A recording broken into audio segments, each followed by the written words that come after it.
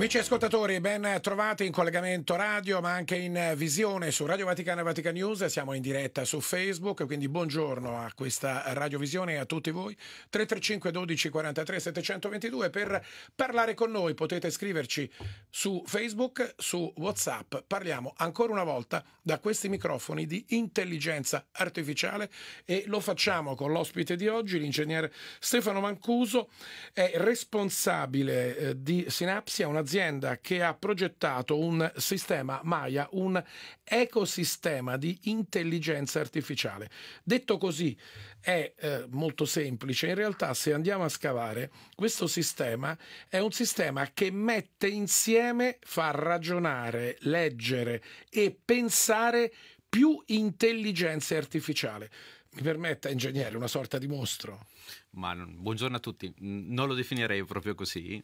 Allora, è, è, assolutamente corretto. Quello che abbiamo sviluppato, che si chiama Maya, è un ecosistema, noi lo chiamiamo, eh, italianizzando dei termini inglesi, un orchestratore, ovvero è un sistema che in funzione del compito che deve andare a svolgere, quindi in funzione di quello che è l'input che gli viene assegnato, decide quale sottomodello di intelligenza artificiale è più utile a compiere quel compito nella maniera più corretta. Quindi che si tratti per esempio di um, un modello che deve gestire il testo o che deve gestire l'analisi di un'immagine o di un audio derivante da una trascrizione di una uh, interazione vocale.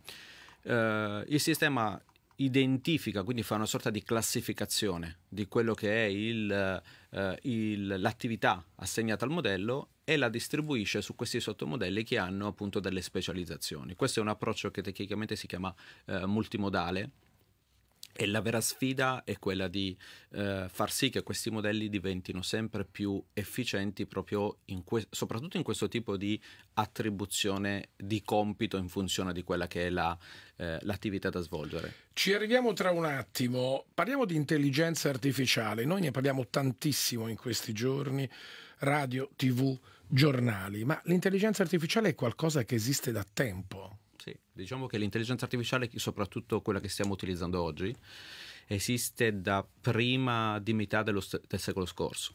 Diciamo, siamo, lo si fa risalire intorno al 1948, 1950. Di fatto si tratta di modelli che si chiamano statistici, quindi sono dei modelli in cui fondamentalmente restituiscono uh, quello che hanno avuto in pasto sotto forma di addestramento, di training. Quindi eh, sono modelli dove eh, la bontà, la qualità di quello che eh, restituiscono in termini di, di, di, risposta, se si tratta di un'intelligenza artificiale, ad esempio, eh, deputata all'estrazione di informazioni, quella che siamo un po' ormai oggi noi abituati a identificare come intelligenza artificiale, come ChatGPT, come tutti quei i chatbot o l'evoluzione dei chatbot che oggi hanno più una connotazione di copilot sono quelli eh, per cui a fronte di una domanda riceviamo una risposta. Ora, quella risposta che riceviamo è direttamente funzione dei dati che si è, stato, che si è dati in, in pasto. Quindi quello che di solito viene visto un po' come una scatola magica che tira fuori delle informazioni, in realtà è quello che abbiamo dato in addestramento eh, che viene restituito quando il modello statisticamente individua che quel tipo di risposta è statisticamente vi- più vicina ad un esempio che ha già avuto. Quindi di fatto sono sistemi meno intelligenti di quello di cui si crede, se, se lo vediamo in quest'ottica. Quindi lei ci dice che l'intelligenza, e ci conferma che l'intelligenza artificiale non è un'invenzione di oggi, no. ma è qualcosa che parte addirittura da 50 anni fa, mi sembra, sì, mi sembra di, di, capire. Sì. Il progetto Maya, questo ecosistema di cui lei oggi ci parla, mette insieme più cose, permette diciamo, a un soggetto X, questa intelligenza artificiale, permette di scrivere, di parlare e anche di guardare, di pensare quindi. E ci sono degli ascoltatori, eh, Maria, eh, Pietro, eh, che ci stanno scrivendo in questo momento, eh, che sono preoccupati di questa cosa. Cioè una macchina, chiedono, può pensare, scrivere e muoversi come un uomo, almeno da un punto di vista di, di testa, di cervello? Allora, oggi no oggi come, come anticipavo, domani, domani eh, si sta andando verso la direzione che si chiama AGI, che si sta per Artificial General Intelligence, quindi intelligenza artificiale generale, che è quella che si eh, individua essere più vicina al concetto di ragionamento. Ragionamento inteso come deduzione. Quello è quello a cui si tende, anche noi stiamo andando in quella direzione come sviluppo, ma ad oggi non esiste una tecnologia che è in grado di fare ragionamento inteso come lo immaginiamo noi dal punto di vista di, di, di intelletto umano. Mi viene in mente Kubrick eh, nel famoso film sì. 2001 Odissea nello spazio. quello, quello e, altre, e, altre, rappresentazioni cinematografiche hanno contribuito a dare quell'idea no? De, del, dell'AI che prende coscienza, che fa delle cose in autonomia. Questo computer, questa grande nave spaziale che parla con un unico uomo sì. Rimasto. quello, ricattandolo tra l'altro. Quello lo vedo un po' sempre una... Con voce un, femminile e suadente. Suadente, che quella era appunto la rappresentazione tipica de, della I anche in Hair, per citare un altro tipo di, eh, di film. Non, non è quello né l'oggi né secondo me il domani eh, quello verso cui stiamo andando. Sicuramente potremo andare verso dei sistemi che sono in grado, a differenza di quelli attuali, di combinare le informazioni e restituirle non soltanto se le hanno già avute, ma anche facendo delle deduzioni, quindi alzando l'asticella, chiamiamolo del ragionamento. Ingegner Mancuso, questo ecosistema di cui lei oggi ci sta parlando può prendere direttamente, cioè può alimentarsi l'intelligenza artificiale prendendo in tempo reale H24 dei dati dalla rete internet che è sempre aperta, sempre accesa. Cioè, e anche questo sì. può essere pericoloso per un controllo di un'intelligenza artificiale che in questo modo sarebbe sempre più intelligente. Allora, hai centrato esattamente il punto, cioè oggi l'intelligenza artificiale, come abbiamo detto, è, eh, ha una qualità che è in funzione che, dei dati che ha avuto in addestramento, cioè i dati di esempio che ha avuto. Oggi uh, questi dati uh, spesso non sono sufficienti, no? Basti pensare che se l'addestramento di un modello è addestrato ad oggi, una news, un'informazione che verrà domani eh, non sarà eh, ovviamente patrimonio di quel modello di intelligenza artificiale. Quindi si ricorre a delle tecniche che si chiamano di tipo RAG, ovvero delle tecniche che consentono di prendere informazioni da sorgenti esterne, il web è la, è la sorgente di informazioni più grande, e um, utilizzare l'AI non tanto per fornire l'informazione intesa come uh, estrapolarla e metterla all'interno, ma come uh, potenza conversazionale, ovvero trovo un'informazione che secondo me è quella che sta cercando l'utente, che è sul web, sulla pagina Facebook o sulla pagina web di un giornale, ad esempio, prendo quell'informazione, la riassumo utilizzando la potenza conversazionale dell'AI e la restituisco all'utente. Però lì, attenzione, è una cosa molto diversa. Non ho usato il dato per addestrare l'intelligenza artificiale, ho solo utilizzato la potenza conversazionale di riassunto dell'intelligenza artificiale per fornire un contenuto in maniera diversa e più veloce. Arturo ci dice chi controlla tutto questo e dice ancora può esserci un robot, una macchina artificiale, un'intelligenza artificiale che a un certo punto la pensa diversamente dall'uomo? Allora, chi controlla è ad ogni livello, ad ogni stadio, chi mette all'interno i dati.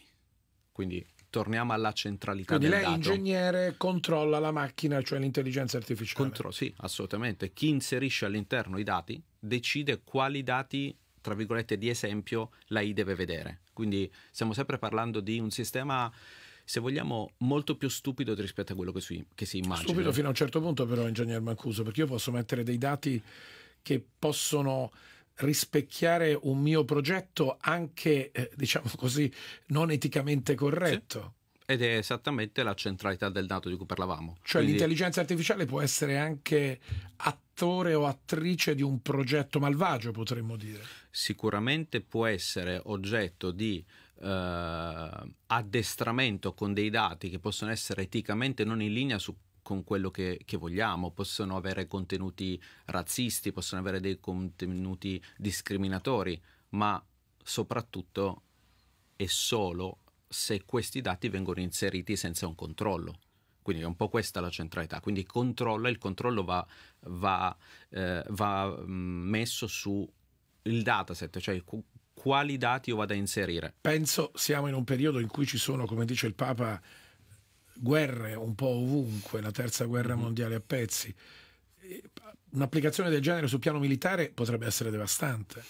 Sul piano militare diciamo, il tipo di, di, applicazione che immagino potrebbe essere un'applicazione di tipo propagandistico. Se io mettessi su un sistema che eh, a fronte di richiesta informazioni mi dà delle informazioni che sono influenzate da dati che sono stati inseriti per eh, seguire una determinata ideologia, quello potrebbe essere un pericolo. Eh, meno pericoloso vedo il concetto del la classica rappresentazione del robot o della macchina che fa delle cose malvagie perché viene, eh, sì, viene animato da un'intelligenza artificiale autonoma. Noi in casa abbiamo già una sorta di intelligenza artificiale, per esempio chi ha Alexia o chi ha questi robottini che puliscono i pavimenti. Uh-huh. Si può paragonare questo a intelligenza artificiale? Allora, se, se, questa cosa la dicesse uno dei miei eh, sviluppatori, av- avrebbe da dissentire. Avrebbe licenziato. Sì, eh, quel tipo di eh, intelligenza artificiale sono più eh, dei, chiamiamoli degli assistenti virtuali che sono la forma molto embrionale di intelligenza artificiale. Di fatto hanno un contenitore da cui possono attingere di informazioni molto vasta e in maniera anche abbastanza randomica, che questo dalla percezione maggiormente di, eh, di intelligenza artificiale restituiscono delle informazioni a seguito di richieste. C'è Roseli eh, che ci chiede, buongiorno, ho fatto caso che ad una domanda ho ottenuto più risposte e anche diverse tra di loro. Come sì. fidarsi? Questa è proprio la caratteristica della I generativa la I generativa, proprio per sua funzione, quindi ChatGPT, OpenAI, quello che, quello che conosciamo maggiormente, perché da due anni a questa parte... Quello che abbiamo sui le, computer o sui cellulari? Sì, quello, quello che... Le app eh, che possiamo scaricare? Anche, che sono basate su questo tipo di sistemi, le nuove I di tipo generativo nascono per generare un contenuto a tutti i costi, no? Quindi eh, spesso, anzi nel 90% dei casi restituiscono risposte soprattutto dal punto di vista sintattico diverse a fronte della stessa domanda. Questo perché pro- sono progettate per questo. Quindi anche lì, se io ho la stessa risposta, ma il contenuto è lo stesso, ma te lo viene restituito in forma diversa, non cambia, cambia poco, no? È una questione di stile, di forma. Se invece il contenuto è un contenuto errato, quindi do un'informazione errata, anche lì vuol dire che eh, il dato che ha avuto che ho preso da qualche parte, che è stato inserito all'interno, è un, è un contenuto. Ingegner Macuso, andiamo verso la fine di questo nostro colloquio sull'intelligenza artificiale. Tutto questo che ci siamo raccontati, questo ecosistema che lei ci sta uh-huh. rappresentando, Maya, cioè mettere più in, unire più intelligenze artificiali per un servizio, cioè renderle capaci di pensare, scrivere, leggere, vedere e quindi dare anche poi consigli mm. all'uomo. Questo è quello che, di cui oggi stiamo, uh, stiamo parlando. Che impatto ha sul piano sociale e anche industriale? Perché noi stiamo leggendo che per l'intelligenza artificiale anche grandi gruppi, Google e altri, stanno licenziando persone fabbriche stanno rinunciando a umani per dare spazio all'intelligenza artificiale, a robot in questo caso finalizzati a certe azioni. Quindi che cosa succede? Cioè chi controlla? È chiaro che la politica, un sistema del genere avrà fatica, farà fatica a controllarlo e quindi il rischio è alto. Sì, allora... Le mm. istituzioni faranno un'enorme fatica a bloccare usi non etici di tutta questa situazione e questo lo sappiamo, è nella storia sì. di quello che è l'evoluzione tecnologica, le istituzioni, le leggi fanno fatica a controllare. Quindi dove andremo? Che cosa succederà per l'uomo, per l'umanità?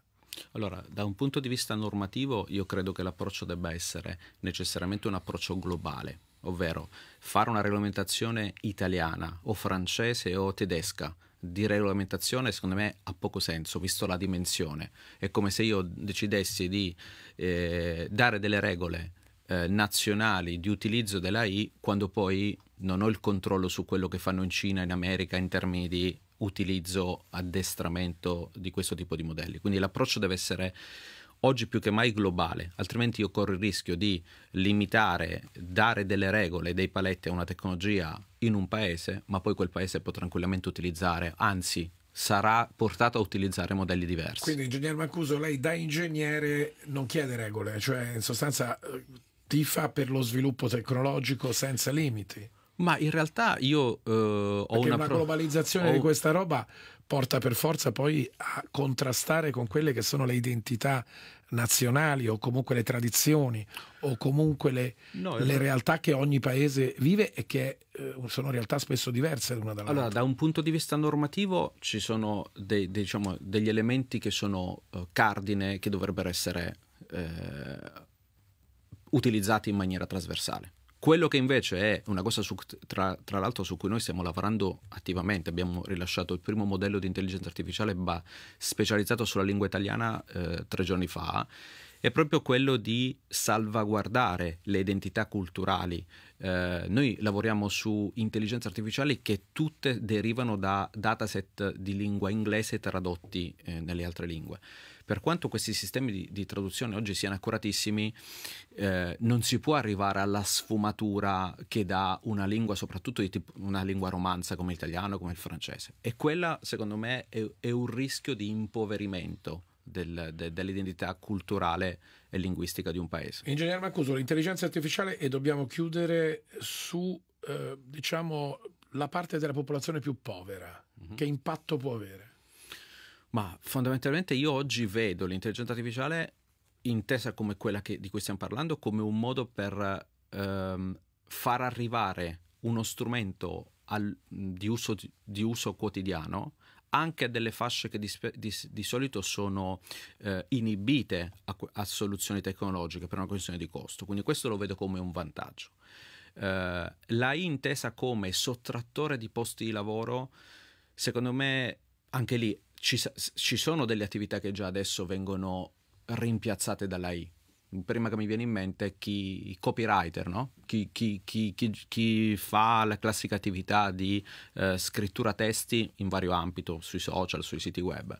Oggi, secondo me, può, può essere mh, sostituito dall'AI in, in alcuni contesti. Dall'intelligenza artificiale. Ma ci sono altrettanto tantissime attività ricorsive, noiose, a basso valore per l'uomo che potrebbero essere date in carico all'AI e quelle risorse far sì che possano fare delle attività a maggior valore, soprattutto perché oggi chi compie quelle attività lo fa perché c'è bisogno che qualcuno faccia quel lavoro.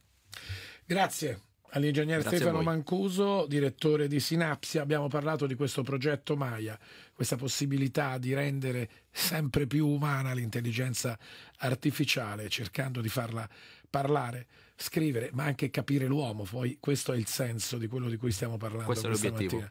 L'intelligenza artificiale che deve capire il sentimento umano. Non so quanto una macchina possa provare un sentimento. Ma mh, rientra in quello che è il sogno, no? Di fare una I empatica che sia in grado di cogliere il mood, le sfumature, gli stati d'animo. Grazie, grazie all'ingegner Mancuso. Grazie a voi. Grazie amici ascoltatori. La linea torna ora allo studio, ci ascoltiamo un brano musicale, poi proseguiamo su Radio Vaticana.